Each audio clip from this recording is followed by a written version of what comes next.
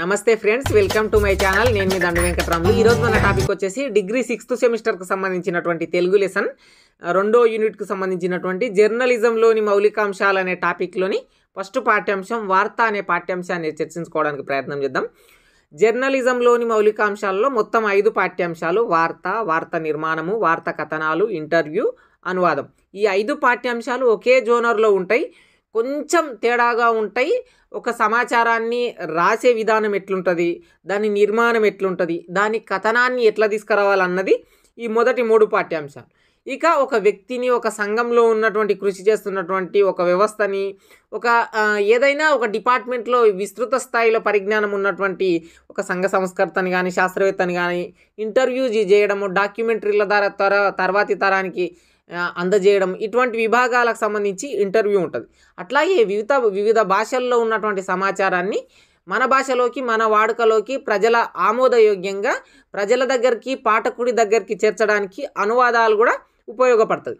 ఇతర భాషల సమాచారం మన భాషలోకి రావడానికి. ఈ ఐదు పాఠ్యాంశాల్లో మొదటి పాఠ్యాంశం వార్త ఈ పాఠ్యాంశాన్ని ఒక్కటి నేర్చుకుంటే మిగతా అన్ని పాఠ్యాంశాలు దీనికి అనుబంధంగానే ఉంటాయి కాబట్టి ఇది చాలా ఇంపార్టెంట్ అయినటువంటి పాఠ్యాంశం. ఫ్రెండ్స్ మీరు ఇంకా నా ఛానల్ని subscribe చేసుకోలేనట్లయితే please do subscribe my channel. అసలు వార్త అంటే ఏమిటి? ఫస్ట్ పాఠ్యాంశం. వార్త నిర్మాణము. ఈ వార్త అనే టైటిల్ నేమ్లోనే ఉంది. N E double S. అంటే నార్త్ ఈస్ట్ వెస్ట్ సౌత్ నలుదిక్కుల నుంచి వచ్చిన సమాచారమే వార్త. దాన్ని వివిధ రూపాలుగా మనం ఒక పేపర్లో రాస్తున్నాం ఒక కాగితం మీద ప్రచురిస్తున్నాం కాబట్టి దాన్ని వార్తాపత్రిక అన్నాం ఈ వార్తాపత్రికలు మన జీవితంలో ఒక భాగంగా టీ తాగేటప్పుడు కానీ పడుకునే ముందు కానీ ఏదో ఏదో ఒక టైంలో డే మొత్తంలో ఖాళీ సమయంలో కానీ వార్తను చదవాలని సమాచారాన్ని తెలుసుకోవాలంటానని మన విషయ పరిజ్ఞానం కోసం మన విస్తృతి కోసం మనం వార్తాపత్రికలను రోజు జన చైతన్యం కోసం సమాజంలో ఏం జరుగుతుందన్న టాపిక్ని తెలుసుకోవడం కోసమైనా మనం వార్తాపత్రికలను చదువుతున్నాం. ఈ వార్తాపత్రికలు అనేటివి ఇట్లా మనం ఒక సమాచారాన్ని రాస్తేనంటే పేపర్ మీద రాస్తే అది జర్నల్ అది అంటే ఆ పుస్తకాన్ని జర్నల్ అని పిలుస్తారు. అందులో పనిచేసేటటువంటి వాళ్ళని జర్నలిస్టులు అని పిలుస్తారు. ఇట్లా జర్నలిజంలోని మౌలికాంశాలలో మొదటి పాఠ్యాంశం వార్త.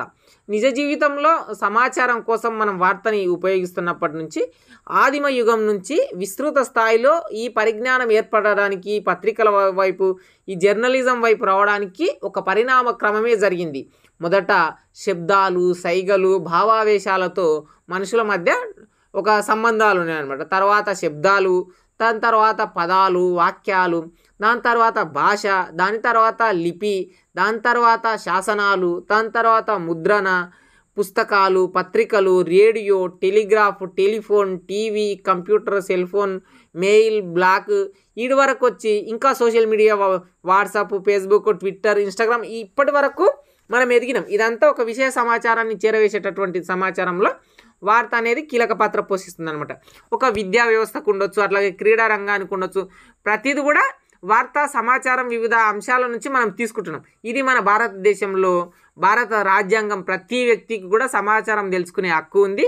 దీనికి సంబంధించినటువంటి చట్టాలు ఉన్నాయి ఇది తెలుసుకొని సమాజంలో మనం మాట్లాడడానికి మన పరిధి వరకు మాట్లాడడానికి వాక్ స్వతంత్ర చట్టం కూడా ఉంది. ఆర్టికల్ నైన్టీన్ ప్రకారం సమాచారాన్ని తెలుసుకోవడం సమాచార విస్తృతిని సమాజం పట్ల అవగాహన ఉండడం ఈ విషయాలన్నింటినీ తెలుసుకోవడం రాజతంత్ర విషయాలు తెలుసుకోవడం ఇవన్నీ కూడా అనాది నుంచి ఇప్పుడున్న రాజ్యాంగ వ్యవస్థలు ఇప్పుడున్న దేశాల పరిపాలన విధానాలే కాకుండా పూర్వకాలంలో కూడా సమాచారం తెలుసుకోవడం మనిషి హక్కుగా రాజులు కొంతమంది భావించారు.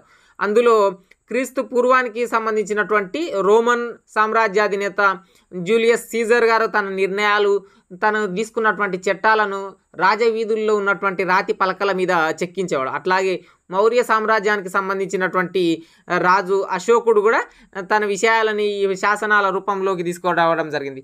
ఇక మొఘలుల కాలానికి సంబంధించి పదిహేనవ శతాబ్దానికి సంబంధించినటువంటి విషయాల్లో వార్తాహారులు అనేటటువంటి వ్యక్తులే సపరేట్గా ఉద్యోగస్తులుగా ఉండి గుర్రాల మీద పరరాజ్యాలకు సంబంధించినటువంటిది అట్లాగే శత్రువులకు సంబంధించినటువంటి వార్తలను రాజులకు చేర్చడం రాజు యొక్క చట్టాలను ప్రజలకు చేర్చడం వార్తాహారులు అనేటటువంటి వారు ఉంటారనమాట వీటి తర్వాత లిపి ఇవన్నీ వచ్చిన తర్వాత క్రీస్తు శకం పద్నాలుగు వందల యాభైలో జాన్ గుటన్బర్గ్ గారు అచ్చు యంత్రాన్ని కనుగొన్న తర్వాత మనకు ఒక వార్తాపత్రిక రూపం అనేది రావడం జరిగింది. ఈ వార్తాపత్రికలు మొదట వారపత్రికలు పక్షపత్రికలు సంవత్సర పత్రికలు ఉన్నప్పటికీ దినపత్రికలు తర్వాత వచ్చేయడం జరిగింది వార్తాపత్రికలను మొదట్లో కరపత్రాలుగా సేకరించి గోడల మీద అతికించడం పరిపాలనకు సంబంధించిన రాజుల చట్టాలను ప్రజల్లోకి తీసుకెళ్ళడం ఇంగ్లాండ్ రష్యా అమెరికా వంటి ప్రాంతాల్లో ఉందన్నమాట. ఇక పద్దెనిమిది వందల అరవై ఐదు పంతొమ్మిది వందల సంవత్సరాల మధ్య పత్రికల ఆధునిక యుగం వచ్చిందని చెప్పుకోవచ్చు. మన భారతదేశంలో పదిహేడు వందల ఎనభై సంవత్సరంలో బెంగాల్ గెజిట్ అనే తొలి పత్రిక రావడం దాని తర్వాత న్యూస్ బుక్ రావడం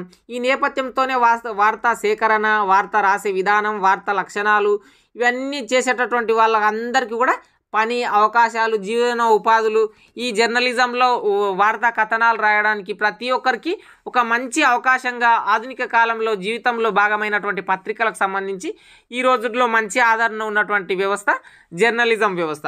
ఇప్పుడు ఇందులో కొంత కొంతమంది వ్యక్తులు సపరేట్గా కృషి చేసినటువంటి వాళ్ళు కూడా ఉన్నారు. పుల్జర్ అనేటటువంటి వ్యక్తి నూతన జర్నలిజానికి పునాదులు వేసినటువంటి వ్యక్తి.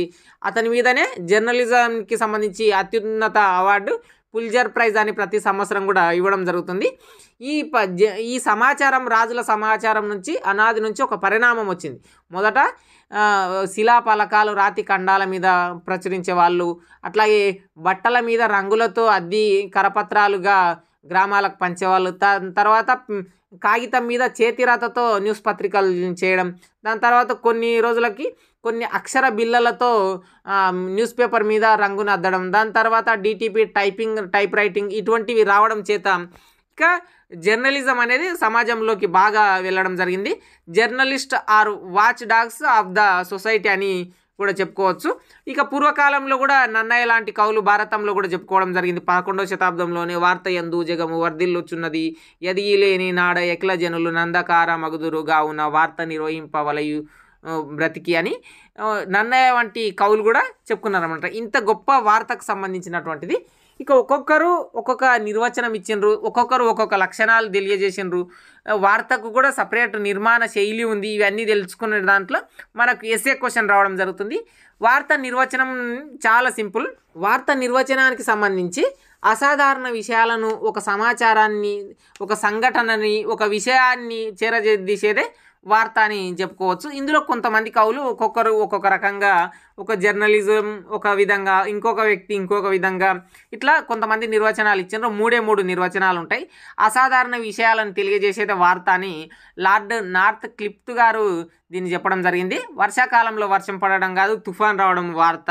కుక్క మనిషిని కాటేయడం కాదు మనిషి కుక్కను కాటేయడమే వార్త అంటని చెప్పి ఒక సాధారణ విషయం కాకుండా డిఫరెంట్గా చెప్పినటువంటి వ్యక్తి లార్డ్ నార్ల్ నార్త్ క్లిప్ అనే వ్యక్తి. అట్లాగే రెండవ వ్యక్తి తాజా సంఘటనల సమాచారం వార్త లేదా కొందరు వ్యక్తులకు సంబంధించినటువంటి ఆసక్తికర విషయాలు లేదా మనం ముఖ్యంగా ముఖ్యమైనదిగా భావించే ఒక సమాచారమే వార్త అని డబ్ల్యూసి బ్లేయర్ గారు చెప్పడం జరిగింది. ఉమేష్ చంద్ర బ్లేయర్ కాదు కాదు. ఇక్కడ డబ్ల్యూసి బ్లేయర్ అనమాట ఇతను వే వేరే వ్యక్తి. అనుభవ అనుభవాలపైన ఒక సంపాదకుడు తన పత్రికకు ఎంచుకున్నటువంటి సమాచారమే వార్త అని ఆర్. బుష్ గారు చెప్పడం జరిగింది. అట్లాగే ఈ సాంకేతిక యుగంలో ఆసక్తిని పుట్టించేదే వార్త అని చెప్పుకోవచ్చు. ఆదివాసీలకు మలేరియా పుట్టింది అని మనం ఒక వార్త వస్తే దానికి ఎంపికలో ప్రాధాన్యత లేకుంటుంది. ఈ పట్టణాల్లో జీవించే వాళ్ళు ఆదివాసీల గురించి అట్లాగే ఆలోచన చేస్తుంటారు. కానీ వార్త ఎంపికలో ఒక బలమైన వార్తగా నిర్మాణంలో మనం తీసుకురావచ్చు. వార్త ఎంపిక ద్వారానే పాఠకుని చేరుతుంది కాబట్టి కొన్ని లక్షణాలు ఉండడం జరిగింది. అందులో ఐదు ఉంటాయి ప్రధానంగా. ప్రాధాన్యత. ప్రతి వార్తకు ఒక ప్రాధాన్యత ఉండాలి. ప్రతి వార్తకు ఒక సామీప్యం ఉండాలి. ప్రతి వార్తకు ఒక సంఘటన ఉండాలి. ప్రతి వార్తకు ఒక సంచలన మార్పు ఉండాలి. ప్రతి వార్త వార్తకు ఒక అభివృద్ధి ఉండాలి. ఈ ఐదు ఉండాలి. ఈ ఐదుట్లో కొన్ని కొన్నిటికి ఉండకపోవచ్చు కొన్నిటికి ఉండొచ్చు. ఇప్పుడు శాంతిపూర్వకంగా ఉండేటటువంటి వార్తలకు ఈ ఐదుట్లో సంఘర్షణ ఉండదు. ఇక కొన్ని విద్యా వ్యవస్థకు ఉంటే అది సంచలనంగా ఉండదు. కొన్ని అభివృద్ధికి సంబంధించి ప్రభుత్వానికి సంబంధించినటువంటివి మాత్రమే ఉంటాయి. మొత్తంగా ఐదు ఉంటాయి. ప్రాధాన్యత సామీప్యం సంఘర్షణ సంచలన మార్పు అభివృద్ధి. ఇది నిన్న ఎస్ఎస్ క్వశ్చన్ రావడం జరుగుతుంది. ప్రాధాన్యత. ఒక వార్త ఎంపిక. ఇప్పుడు న్యూస్ పేపర్లో మొదటి లైన్లో ప్రధానమంత్రి గారు నేడు ఇంగ్లాండ్కు వెళ్తున్నాడు అనే వార్త దేశంలో పెద్ద వార్త. లేదంటే పాకిస్తాన్ మీద బాంబులు వేస్తున్నారు అనేది పెద్ద వార్త. న్యూస్ పేపర్లో మొదటి లైన్లో వచ్చేది ప్రాధాన్యత. ఎంపిక మనకు పాఠకునికి ఏది ఇంపార్టెంట్ అన్నదే వార్త. ఇది పార్లమెంటు ఢిల్లీ రాష్ట్రపతి రాష్ట్ర శాసనసభలు ఇవి చాలా ఎంపిక అయినటువంటి ప్రాధాన్యత. ఇక సామీప్యం అంటే ఏం లేదు డిస్టెన్స్. ఇప్పుడు అమెరికాలో అధ్యక్ష ఎన్నికలు జరుగుతున్నాయంటే మనకు అంత ఇంట్రెస్ట్ లేకపోవచ్చు. మన రాష్ట్రంలోనే మన శాసనసభకే ఎన్నికలు జరుగుతున్నాయంటే ఇంట్రెస్ట్ ఎక్కువ. ఇక్కడ సామీప్యంలో కూడా ప్రాధాన్యత ఉంటుందని తెలియజేయడమే వార్తకు ఉండేటటువంటి లక్షణం సామీప్యం. ఇక సంఘర్షణ. ఒక మనం ఎంచుకున్నటువంటి సమాచారంలో సంఘర్షణ ఉంటుంది. ప్రతి దాంట్లో భావోద్వేగాలు ఉంటాయి. ఒక వ్యవస్థ లేదా ఒక సంఘం ఒకటి లేదా రెండు సిద్ధాంతాలు మాదే గొప్పదని వాదించుకోవడమే సంఘర్షణ. దీని నుంచే కొత్తగా వార్త పుడుతుంది. ఇది మత సామ్రాజ్యాలకు సంబంధించి అట్లాగే మత రాజకీయాలకు సంబంధించి లేదంటే ప్రజాస్వామ్యంలో ఉన్నటువంటి ఈ రెండు పార్టీలకు సంబంధించినటువంటి రాజకీయాలకు సంబంధించినటువంటి సంఘర్షణ ఉంటుంది. ఇక సంచలన మార్పు. ఈ దీంట్లో సెక్షన్లుగా డివైడ్ చేసుకోవచ్చు. అంతర్జాతీయ జాతీయ రాష్ట్రంగా ఇట్లా సంచలనం ఎక్కడ సంచలనం? ఇప్పుడు ఐక్యరాజ్య సమితి ఒక నిర్ణయం తీసుకుంది అదొక సంచలనం. మోడీ గారు ఒక నిర్ణయం తీసుకున్నారు. అది ఒక సంచలనం. రాష్ట్ర వ్యాప్తంగా మన ముఖ్యమంత్రి గారు ఒక సం సంచలన నిర్ణయం తీసుకున్నాడు. అది ఇక్కడ దళిత బంధిస్తున్నాడు. ఇట్లాంటిది ఒక సంచలన మార్పు. ఇక అభివృద్ధి అనేది సూచనీయ అసూచనీయ అంటనని రెండు డిపార్ట్మెంట్లుగా ఉంటుంది. అంటే ఇది అభివృద్ధి అనేది పూర్తిగా ప్రజలకు శాంతిపూర్వకంగా ఉండేది. చదువు ఉంటుంది ఇందులో ప్రభుత్వ ఆర్డినెన్స్లు ఉంటాయి హాస్పిటల్కి సంబంధించినటువంటి విషయాలు ఉంటాయి పోలీసు విభాగం వారు ఈ క్రిమినల్కు సంబంధించినటువంటిది ఇప్పుడు నయీంని పట్టుకోవడం ఇట్లా పాకిస్తాన్కి సంబంధించినటువంటి ఉగ్రవాదులను పట్టుకున్నామని చెప్పి ఇట్లా ప్రతి డిపార్ట్మెంట్ నుంచి మన ఆకాంక్ష కొరకు శాంతిపూర్వకంగా వచ్చేది ఈ అభివృద్ధికి సంబంధించినటువంటిది. ఇక వార్త నిర్మాణం అనేది మరో ఐదు టాపిక్లుగా ఉండడం జరుగుతుంది. ఇందులో శీర్షిక తేదీ లిడ్ బాడీ ఉపశీర్షికలని ఉండడం జరుగుతుంది.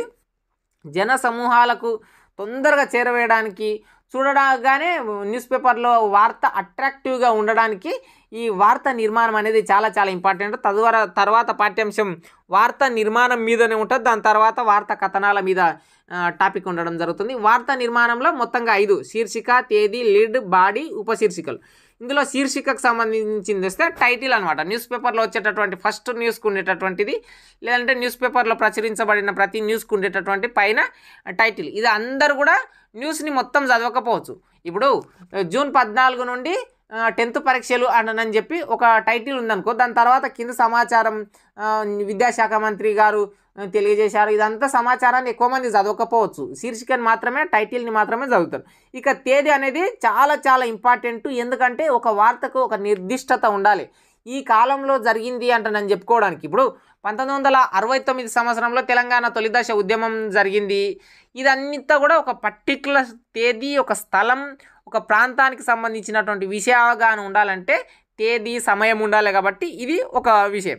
ఇక లిడ్ అంటేనంటే వార్తనంటే ఒక ప సమాచారాన్ని వివరించడానికి లిడ్ అంటనని పిలుస్తుంటాం. వార్తలో ఇదే ఒక గొప్ప సారాంశంగా పిలుచుకోవచ్చు. మనం న్యూస్ పేపర్ చదువుతున్నప్పుడు పెద్దగా ఉంటుంది చూడండి.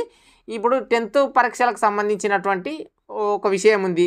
లేదంటే ఆరోగ్య వ్యవస్థకు సంబంధించినటువంటి ఒక విషయం ఉంది. ఇదంతా కూడా దాని వార్తను వివరించడాన్ని లిడ్ అండనని పిలుస్తాం. ఇక బాడీ అంటే మనం ఒక ఇమేజ్ని తీసుకున్నాం. తీసుకున్న తర్వాత ఆ ఇమేజ్కి ఒక సైడ్ నుంచి కానీ ఇంకొక సైడ్ నుంచి కానీ ఎక్కడో ఒక నుంచి మనం పూర్తి కథనాన్ని రాస్తాము. అదే బాడీ. అంటే మనం న్యూస్ పేపర్లో ఎంత కథనానికి ఆ న్యూస్కి ఎంత స్పేస్ ఒక సర్కిల్ ఆకారంగా కానీ కొంచెం స్క్వేర్ షేప్లో కానీ మనం కొంత ప్రాంతాన్ని కొంత ప్లేస్ని కొంత ఏరియాని ఇచ్చింటాం అదే బాడీ.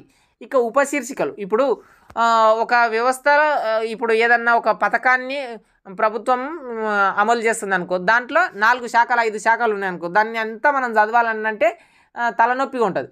కాబట్టి ఉపశీర్షికలు ఉంటాయి అన్నమాట ఇది ఉపశీర్షికలు. ఇప్పుడు ఆరోగ్య శాఖకు సంబంధించినటువంటి కరోనాల మీద మలేరియా మీద తగు జాగ్రత్తలు ఉంటాయి. ఆరోగ్య వ్యవస్థ మీద తీసుకోవాల్సిన జాగ్రత్తలన్నీ ఇస్తే మనమంతా కన్ఫ్యూజ్ పడుతుంటాం. ప్రతి ప్రతి డిసీజ్కి ఒక రకమైనటువంటి లక్షణాలు ఉంటాయి కాబట్టి దానికి సంబంధించినటువంటి తెలియజేయడమే. ప్రతిదానికి ఒక్కొక్క శీర్షిక సబ్ టైటిల్ ఉండడమే ఉపశీర్షికలు అని తెలుసుకోవచ్చు. ఇది వార్తకు సంబంధించినటువంటి పాఠ్యాంశం. వార్త నిర్మాణము వార్త కథనాలు ఇవన్నీ కూడా తర్వాత పాఠ్యాంశాలు వార్త లక్షణాలు వార్త నిర్వచనం వార్త నిర్మాణం అనే అంశాలతో ఎస్ఏ క్వశ్చన్ ఉండడం జరుగుతుంది. సైనింగ్ అవుట్ నేను మీ దండ వెంకటరాములు. ఏదైనా డౌట్ వస్తే ఇన్స్టాగ్రామ్లో అడగడానికి ప్రయత్నం చేయండి.